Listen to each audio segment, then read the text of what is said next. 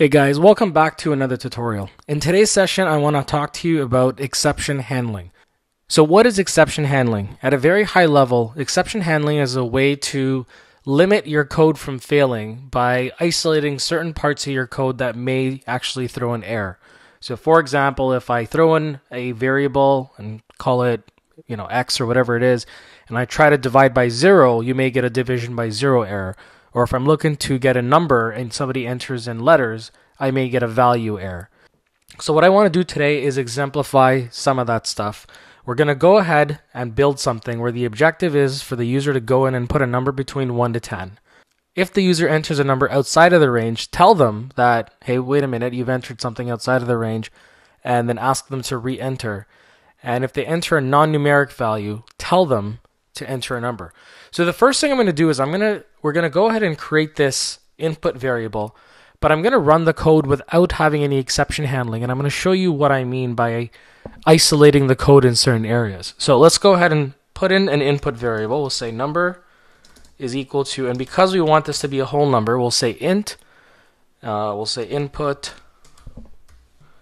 enter a number between 1 and 10. All right, something very simple like that. And then we'll say print the number. All right, so let's run this little code here. So enter number between 1 to 10. I enter 5, prints the number, great. But what happens when I enter a number like 45? It still prints the number, it's outside of the range. And last but not least, if I enter a non-numeric characters here, it actually throws an error. And what happens in a scenario like this is that when I actually throw an exit code 1, what it's going to do is it's going to go ahead and stop your entire code from running. So even if you have, you know, 100 lines and two lines of code fail, it's going to make all 100 fail. And you don't want that. You want to try to isolate it so that if I do throw an error in those two lines of code, it goes back to the user and says, hey, correct yourself because we want the entire 100 lines to run. So how do we go about and handling this? So so this is where the concept of the try, except, and else block comes in. So this is the way it works. You use the word try, and what try is going to do is it's going to go ahead and try to validate whatever your entry is to make sure that it meets the criteria. So in this case, one of the criteria I have is this needs to be an integer because I've defined this as an as an integer. So try is going to say, all right, whatever the user inputs, it has to be an integer, and if it's not, I'm going to throw an exception, which goes to the next line where you would see something like except, and then you would say print, this is an error. So if we run this code, and I do something like this, it's going to say this is an error. It's going to run the exit code 0. And if I put this in a loop, it's going to ask me to go ahead and run this number again, especially if the code is dependent on it. But whenever you're writing your except, your except statement, you see that this has a little squiggly thing under it. And what that means is it needs more information. It actually wants to know what kind of an error is this? Is this, am I dividing by zero? Is it a value error? What kind of an error is this? So if I take these statements back out and had the code the way it was before, if I throw in a bunch of characters, it actually says this is a value error. So it'd be good to actually specify. And the reason is when I'm printing out my error, it's easier for me to know what kind of an error it is. It'll actually print this line for line. So I'll show you what that means. If I go back and do try, and I tab this back out, and I go back and put except value error as E, and then I say something like print E, when I actually run my code, and I put in a whole bunch of gibberish, it's going to give me that error, but it's going to run exit code 0, which means that everything's executed properly. So any code above or below, mostly below, should still continue to run.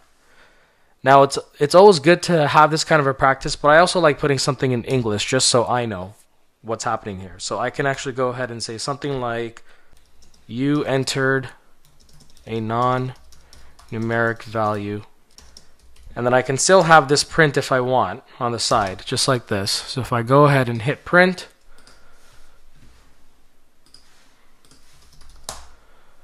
it'll say you entered a non-numeric value, and then it'll print this as well if I wanted to. But I mean, it's it's it's good practice generally to do that. And I will sometimes actually print out the exception uh, when I'm, especially when I'm coding something from scratch and I need to know what the error is. But once I've got it up and running, uh, sometimes I don't actually put this, especially when I mean when a user is going to put in 10, they're not going to know what this means. So I try to make it meaningful to the audience as much as possible. All right, so it sounds like we've handled the first scenario. The problem is, after this person's entered something that's non-numeric, I want them to go back and enter this again. So how do we do that? If you remember before, this is where a while loop is actually great. And a while loop is an infinite loop until it meets its condition. So I can say something like this, enter in a whole bunch of gibberish, and it'll ask me again to enter a number, essentially, which is great. So this is what we want it to do. Now if I enter something like 5, it's still going to go in a loop, and I'll tell you why. If you see, it's actually still asking me to enter more numbers. And that's because I haven't inc included some kind of a break. So after I've met my criteria, I can do something like break. And if I rerun this, put in a whole bunch of gibberish, and put in 5, and it breaks. So it actually says, all right, you entered a, an, an appropriate value in here, so I'm going to get out of the while loop. But now we have one more thing that we need to solve for. So we've gone ahead and we've solved for this one which is if they enter a non-numeric value, tell them to enter a number. But now how do we go and solve for this one? And that is if they enter something that's outside of 1 and 10, so if I entered 0, I actually don't want the code to run. I want to be able to throw some kind of an error. And so this is now where our good old if-else statements come in. So what's going to happen here is I can add in a third element here called else. So this is called a try, except, else statement. And so what this means is that everything in the else statement won't will not run until everything in the try and except statement is correct. So in this case, I can do something like if number is greater than 0 and number is less than 11, or I can say equal to or greater than 1 and less than or equal to 10, but I'm just doing it this way, it's fine.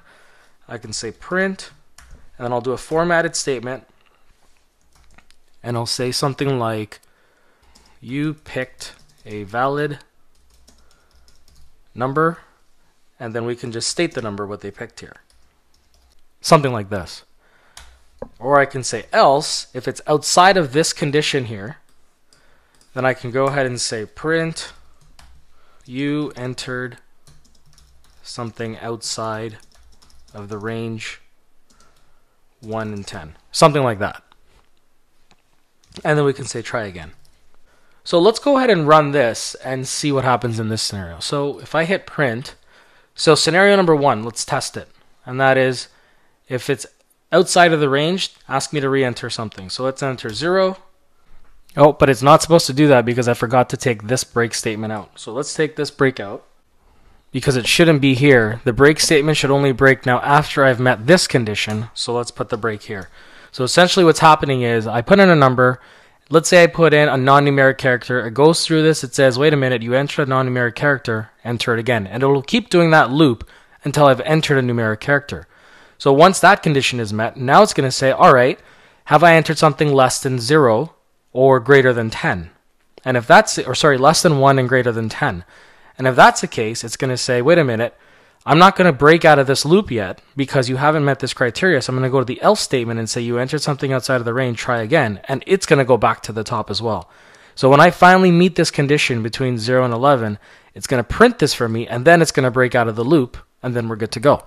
So let's go ahead and try this again. So gibberish, we'll enter 56. It said you entered something outside of the range, 1 and 10, try again. I'll enter negative 9. That doesn't work. So now if I enter 5, should say you picked a valid number 5. And so that's it. That's how the try except else statement works.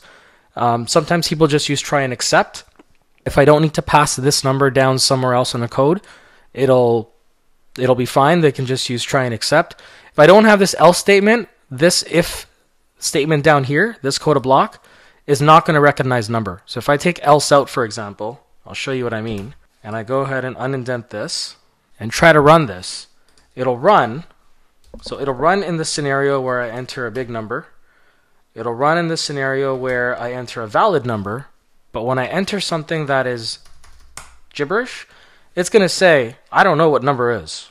And the reason is because this value for number is not getting getting passed down to here because it just ends over here. That's it. That's why it's important to have the else statement in the try except block so that you can actually go ahead and take that value, which is number, and it stays within this block code because the try except else work together. So again, if I run this again, gibberish, and it goes ahead and does exactly what I want it to do.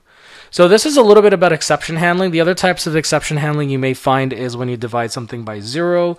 And I mean, if you had a scenario where you're entering something, you know, that had a division by zero, I can quickly do something like, you know, except zero division error is E1, just right under the same code block, you've entered something like this. All right, so now that I've added my zero division error, I said as E1, you cannot divide by zero. So what happens when I enter five and I enter zero?